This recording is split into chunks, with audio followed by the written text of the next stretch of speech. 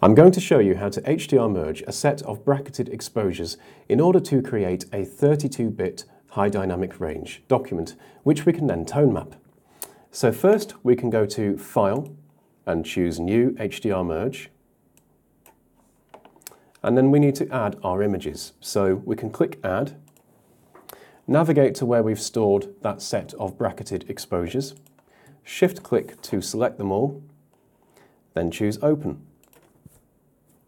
Okay, so they appear in the file box. Now we've got some options down here. Automatically align images I'm going to leave checked because I shot this bracket handheld. If you shot on a tripod, you could try unchecking this. Next, we have automatically remove ghosts. If you have moving elements between each of your exposures, checking this will automatically try and use the most detailed areas from whichever images in order to remove the trail effect. Next we have noise reduction. I'm going to uncheck this because I shot JPEGs, or rather I'm merging these JPEGs. JPEGs have already undergone a degree of image processing including noise reduction, so further noise reduction is unnecessary. However, if you're HDR merging RAW files, you'll want to leave this checked. And finally, tone map HDR image means that as soon as the initial HDR merge has concluded, we will jump straight into tone mapping. That's what we want to do, so we will leave that enabled and click OK. So, Photo will then align each of these images and begin the HDR merge process. So what it does is it equalizes all of the exposures or images and then picks and chooses the most detailed pixels from that set of images and merges them together for extra precision it results in all of these out of bound values like this pure white sky that you can see here. And what tone mapping does is it brings these values back in range, maps them back in range to something that can be displayed on your typical display.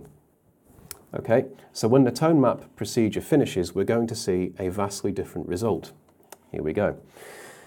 Okay, so first of all, I'll just quickly point out that we have various presets that we can choose from including preset categories, on the left-hand panel here. So we can just click to apply these presets. However, we should focus over here on the tone map panel. So, tone compression is the amount of actual compression to apply to all of the out-of-bound values. So as I gradually increase this, it's bringing all of those values back in range so that they can be displayed. Local contrast is what's going to give you that renowned tone mapped look. Okay, and we can find a balance between these two sliders until we're happy with the overall look. Both of these will help to map the values back into range so that they can be displayed. So for this image, I might just apply a tiny bit of local contrast. But what I will do is scroll down here, enable shadows and highlights, and drag the highlights slider back about there.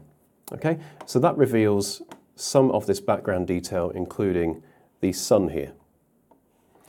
Now, additionally, I'm just going to increase the saturation slightly. And then I'll use curves. So curves is a really powerful tool within the tone mapping persona in order to really shape the tones. So I'm going to click drag, I'm going to bring those darker tones right down, click drag again, perhaps boost around here, and then all the way up here I'm going to boost these and that's dramatically improved the contrast in the image. Okay, so Let's look at some other options as well. Perhaps we'll enable white balance and we can warm the image up slightly, perhaps change the tint. And then to round off, we might just increase the black point. Now, with all of these options, you can either just drag the slider or you can actually set a value in the input box. And you can either just click into that and type a value, for example, 5, or you can use the icons here next to the input box to move the value up and down. So, once you're happy with the tone mapped result, you can click Apply. This will then move you back to the main photo persona for further editing. And when you're ready to export, you can simply go to File and Export. And these documents are in 32-bit unbounded, which is a completely different pixel format to 8 or 16-bit integer. However, when you go to export, it will automatically convert to the appropriate bit depth for you.